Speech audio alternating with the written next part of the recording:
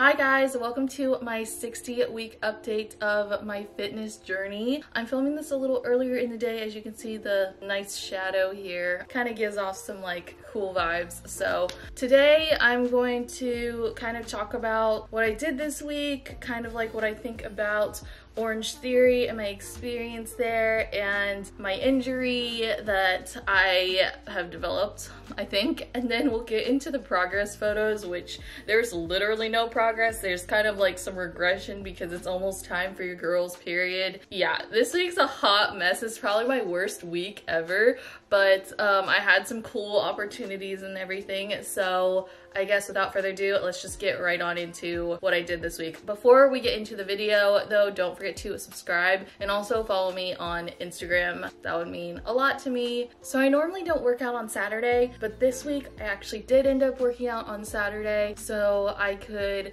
have Sunday off because I had brunch with some um, people I work for on Sunday and I wanted my hair to be like good, clean, nice. So I ended up working out on Saturday. On Saturday, I did the 12 minute happy cardio, super fun routine. I really enjoy that one and I really like the music she uses in that one. Then I did the 10 minute ab workout by Alexis Ren, one of my favorites.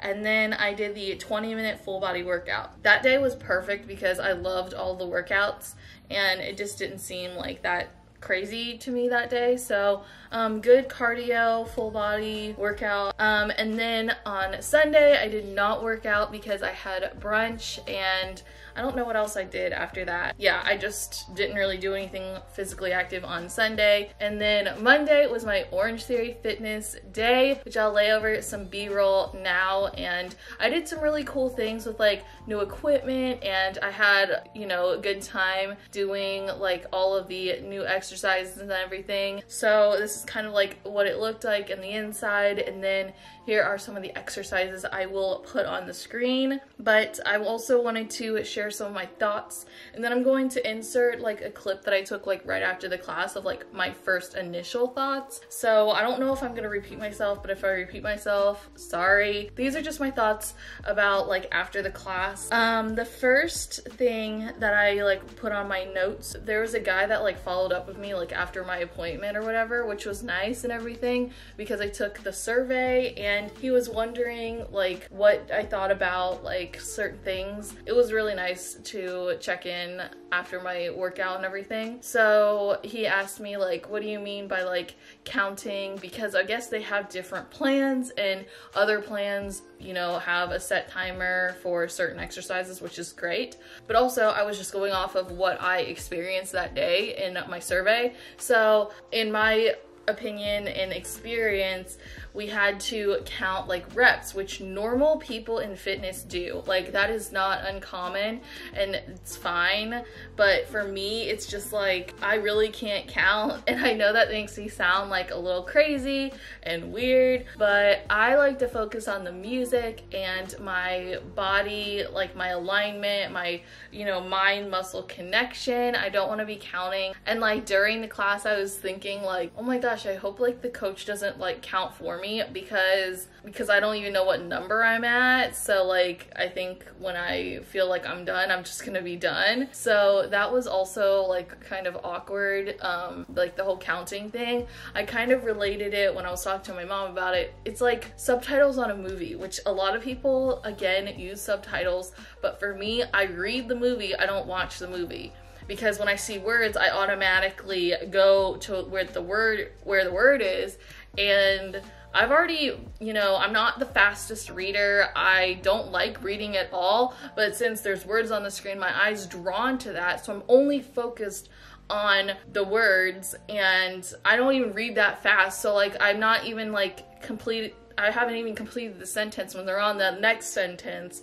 And it's really hard for me because of like my reading issues and stuff. Yeah, again, when I'm focused on one thing, I don't want to have to focus on like multiple other things. If I were to go to a gym and put together like my own plan with like equipment, I will definitely be setting timers for like certain exercises like 30 seconds for that, 45 seconds for this. And I like to work out too for like the enjoyment of it. So like jamming out to like, you know, Jason Derulo or like something like something fun, you know, I don't want to be like, and one, two, like that just takes the fun out of it for me. So I would have liked more time with the equipment, like build in like some more time. Like if I needed to come a lot earlier because like when the coach just like randomly starts like yelling out, okay, this, I mean, she did tell me she went through like everything really good, but like again, sometimes I don't pick up on things that quickly. Sometimes I need to like practice with the machine, you know, like I wish she would have like, okay, cause I had never really been on a treadmill like ever in my life. Um, maybe to like goof off when I was like a kid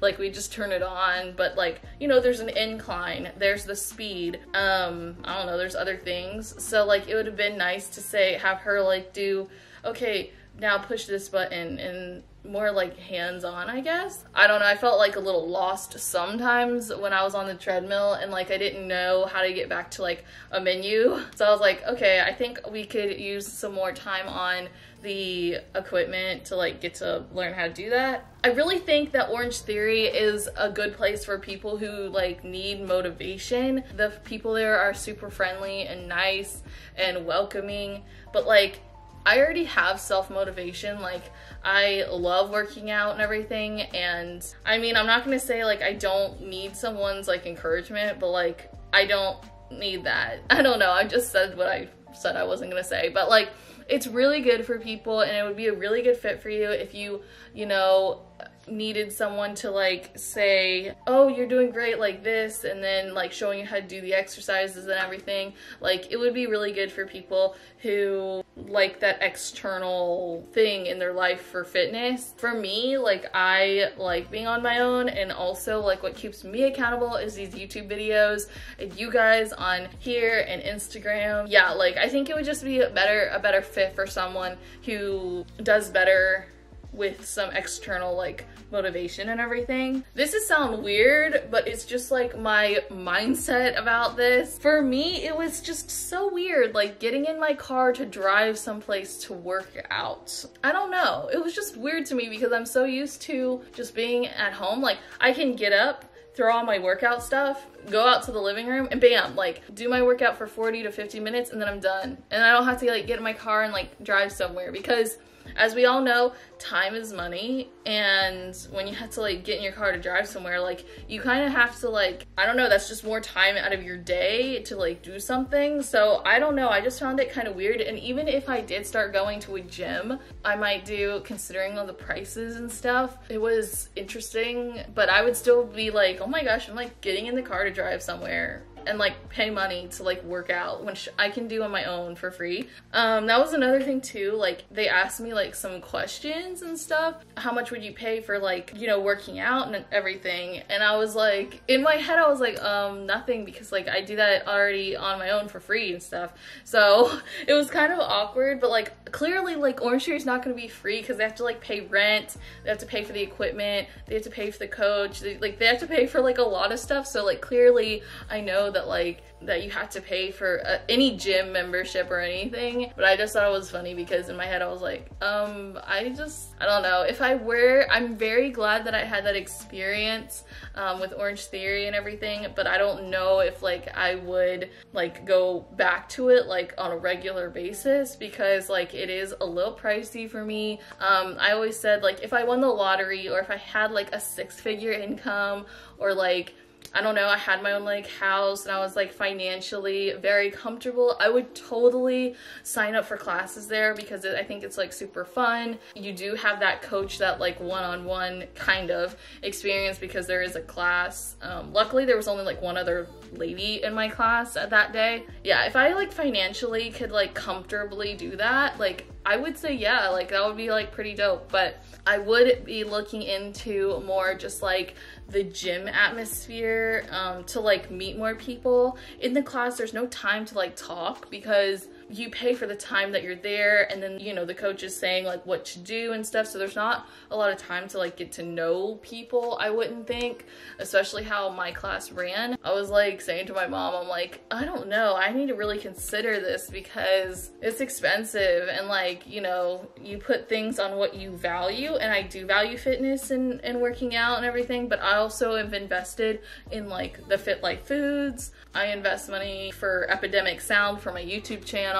I don't know. I just you really have to consider, you know, the breakdown of like what you're doing um, when it comes to, I don't know, finances and stuff. And I really do want to start going to gyms and everything when um, like I get vaccinated. Also, as you can see, my face is horrendous because I wore a mask the entire workout and I must say it was very difficult wearing a mask while working out but yeah my my whole face is like awful so that's something that I hate it's also close to that time of the month for me. So also my face is just like bad in general and um, I'm like bloated. So that's great. I think that's pretty much it for my Orange Theory review. I don't know what I'm gonna put in the next clip, but if I do um, put something in the next clip, then here it is. Okay, so I got out of the Orange Theory Fitness class just a few minutes ago. My initial thoughts, which I'm probably gonna include this in my like weekly recap of my fitness journey videos and this vlog. So if you hear this twice, I'm sorry.